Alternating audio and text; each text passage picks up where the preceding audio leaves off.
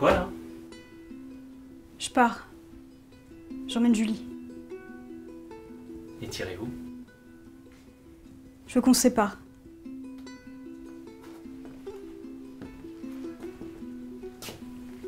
Allons. On n'est pas bien ici tous les trois.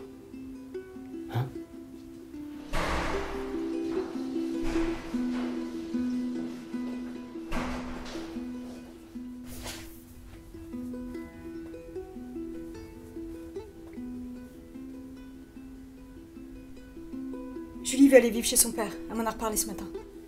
Je l'ai appelé, il est d'accord.